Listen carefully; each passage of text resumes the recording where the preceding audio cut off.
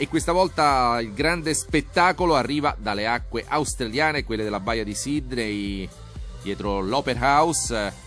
E ad essere protagonisti sono stati proprio i multiscafi, i catamarani, i Formula 40 con uh, i grandi protagonisti della vela internazionale. Ricordiamo l'Act 8 che ha concluso il circuito di quest'anno eh, dei Formula 40 e sicuramente entusiasmante. Sono stati i giorni di regata quando il vento è andato ad aumentare.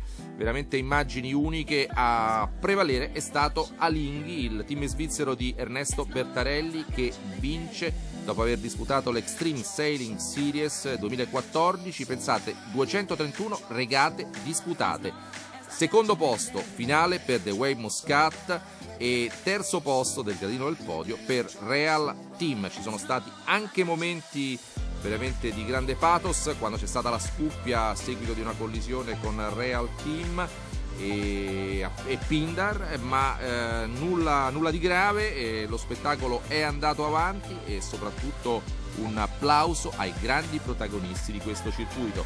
Eh, Vela Vela dedicherà molto spazio a questo ultimo atto, l'Act 8, l'atto numero 8 del circuito internazionale di quest'anno eh, degli Extreme Sailing Series. Adesso solamente eh, i dati di cronaca e la grande vittoria di Alinghi. Fra poco vi riproporremo invece il mondiale classe Optimist, comunque dalla grande vela dei professionisti a quella dei bambini e poi tante novità per uh, il prossimo anno con Vela Vela.